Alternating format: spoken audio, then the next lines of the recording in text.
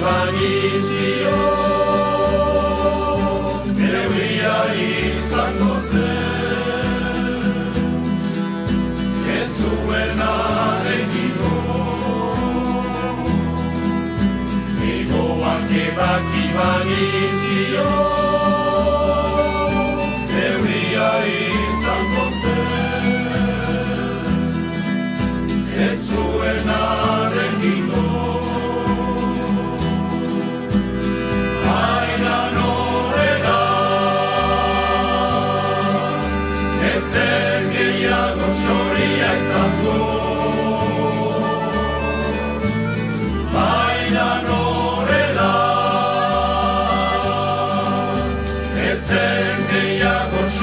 izango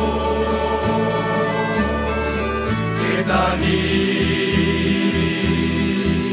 txoria nuen maite Eta nik ez txoria nuen